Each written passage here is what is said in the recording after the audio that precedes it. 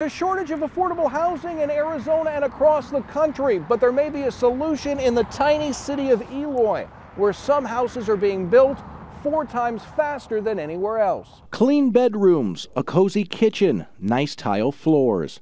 It looks like any other new home for sale, and that's the idea. Even though these houses are 3D printed and built by robotics. Uh, we want the home to look and feel like the home you grew up in. Welcome to the future of home building. All of the houses in this Eloy neighborhood southeast of the valley were built through new innovations in 3D printing and automation. Arizona's family got an up close look at the technology in action. We build the house one layer at a time. Jack Oslan and Russell Varone are co founders of a Phoenix company called Diamond Age, which is changing the way homes are built.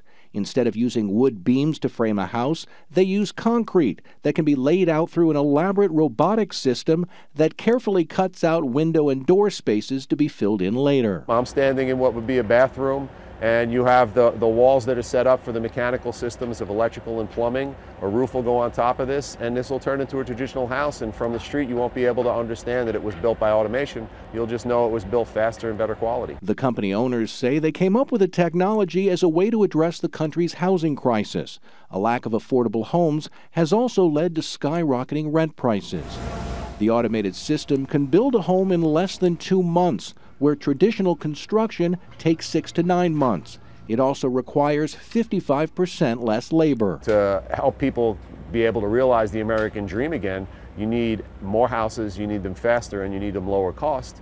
And the easiest way to, to lower the cost of that house build them faster with automation. We're told prices of the 3D homes are similar to traditional homes, but are more efficient and should last longer.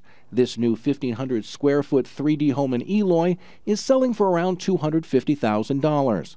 The company is hoping that by building more homes in more communities, it will bring prices down nationwide. We're starting here in Phoenix, um, and as we continue to scale up the business, you know, we're looking forward to continuing to move to other areas and bring affordability to young people everywhere. So far, Diamond Age has completed five of these homes and are working on four others. They hope to have a total of 80 move-in ready by the end of the year.